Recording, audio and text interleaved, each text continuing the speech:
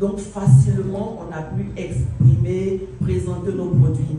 Et je vais terminer par la cerise sur le gâteau, qui a été la visite de son Excellence, Madame l'ambassadeur de Côte d'Ivoire en Turquie, qui était sur notre stand avec plusieurs personnalités, notamment d'autres ambassadeurs, des ministres, et avec le président donc, de Forum PCI qui était là également avec des personnalités turques. Franchement, ça nous a marqué.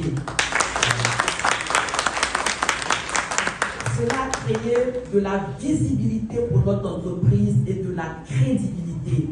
Et juste après leur départ, tout le monde voulait déguster le café de Côte d'Ivoire, le café Olive. Franchement, nous été euh, je vais terminer mes propos en encourageant, en encourageant vraiment les entrepreneurs et même toutes les personnes qui sont présentes qui cherchent des idées en fait pour des opportunités d'affaires.